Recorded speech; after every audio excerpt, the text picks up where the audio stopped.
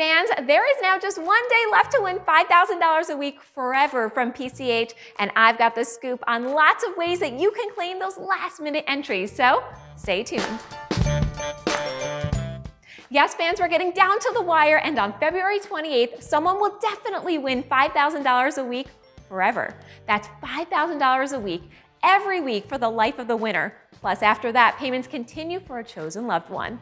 Isn't that amazing? It's my favorite prize. Now, one prize makes two winners and two lifetimes of happiness. But remember, if you want to win it, you have got to be in it. So please take my advice. Claim as many entries as you can before time runs out.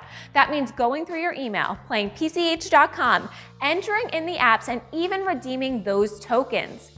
Plus, there's even a hidden entry that you can claim right here on social media. I'll add the link in the description. And speaking of getting social, have you heard that we are awarding a brand new Ford Explorer ST?